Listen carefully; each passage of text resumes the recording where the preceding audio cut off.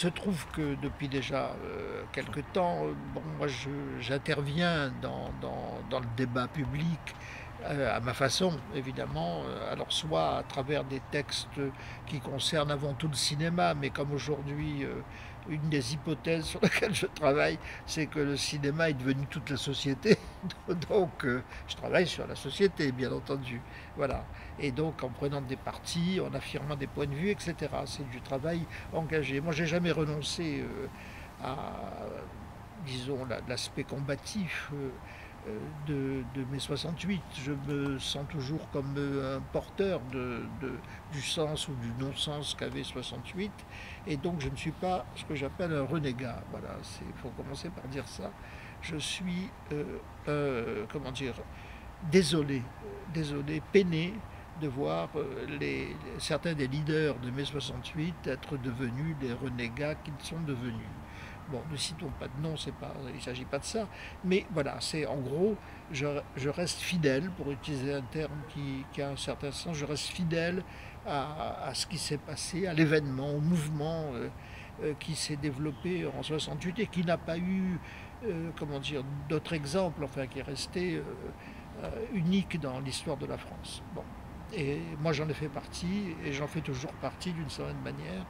Et c'est pourquoi je vais d'ailleurs faire ce film qui s'appellera Les fantômes de mai 68, avec cette idée que les fantômes ne viennent pas du passé, mais qui viennent du futur, et qu'ils viennent à notre rencontre. Euh, en tant que cinéphile, j'ai été très marqué par un film magnifique qui s'appelle Nosferatu de Murnau, dans lequel il y a un carton euh, qui reste euh, magique. Hein. et quand il eut passé le pont, les fantômes vinrent à sa rencontre. Voilà. Or, c'est pas lui qui va voir les fantômes, c'est les fantômes qui viennent le voir. Et je trouve que ça a un sens politique, parce que les fantômes ne disparaissent pas, les fantômes sont toujours là, ils nous relancent, euh, ils nous occupent. Et donc, c'est à la lumière de ça que j'ai pensé pouvoir intervenir dans, votre travail. Je n'ai pas. Euh, j'ai honte de devoir euh, euh, plaider euh, la cause de, de Rouillan. je trouve que la justice française et l'État français se sont déconsidérés. Je suis, bah, disons, soulevé de honte hein, devant l'acharnement, c'est le mot qui convient, aussi bien l'acharnement judiciaire que, au fond, l'acharnement médiatique, parce que d'une certaine façon, même si les médias euh, euh, n'ont pas été toujours euh, horribles, globalement, on ne peut pas dire qu'ils aient pris la, défense ou la cause de, de et je trouve ça lamentable. Voilà. Pourquoi? Parce que seule une référence implicite à un Dieu vengeur pourrait justifier ça.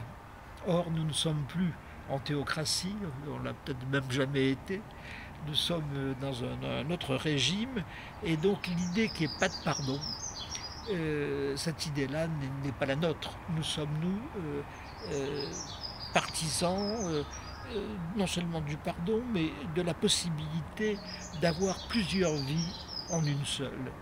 Et, je suis, pour ce qui me concerne et pour ce qui concerne mes, amis ou mes camarades, euh, convaincu que nos, forces, nos puissances créatrices ne se limitent pas à l'exercice d'un moment seulement de nos vies et que ça peut s'étendre sur la vie entière et ça peut varier, changer, on peut, on peut renoncer à beaucoup de choses qu'on a aimées, euh, en aimer d'autres qu'on n'aimait pas, et que c'est cette complexité qui caractérise euh, l'être humain social, l'être humain parlant.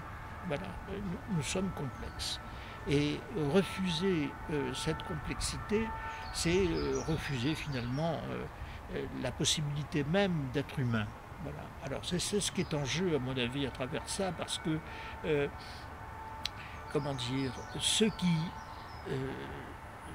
s'arrogent le droit de juger définitivement et de condamner définitivement condamnés à mort, en son mort sociale, bah, ceux-là euh, abusent, c'est un abus, c'est un abus de justice, un abus de pouvoir, et, avec lequel nous ne pouvons pas être d'accord.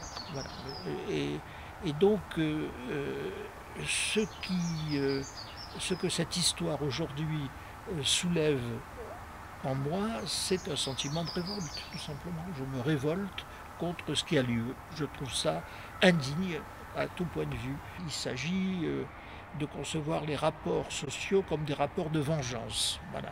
Et donc, euh, euh, ça nous ramène non, seulement en arrière, mais ça nous ramène directement à la mafia. Voilà. C'est-à-dire que c'est euh, seulement dans la mafia, dans ce qui se ressemble à la mafia, les, les crimes sont toujours punis. Voilà. Et il n'y a pas l'idée qu'il puisse y avoir une rémission des péchés, comme dans la la doxa catholique. Voilà. Si tant est que ce qu'a fait Rouillon soit de l'ordre du péché, ce qui n'est pas exactement mon avis, mais enfin bon, euh, je ne suis pas, je ne suis pas croyant et donc je respecte la foi des autres. Mais euh, là, je trouve que la société se, met en position euh, d'absolutisme et que c'est à la fois une négation de l'intériorité de l'autre, du sujet, de nous tous au fait. Hein et en même temps euh, un abus de pouvoir au sens où il y a une telle inégalité euh, entre euh, bon, par exemple, et puis l'État français que c'est abusif, évidemment, de faire peser la puissance et le poids de l'État contre un seul homme. Bon, je trouve ça dégradant. Alors j'ai honte de, devoir le dire parce que tout le monde devrait le penser et que c'est consternant de considérer que ça n'est pas la pensée générale. Moi, ça me, ça me, ça me fait peur, ça me terrifie.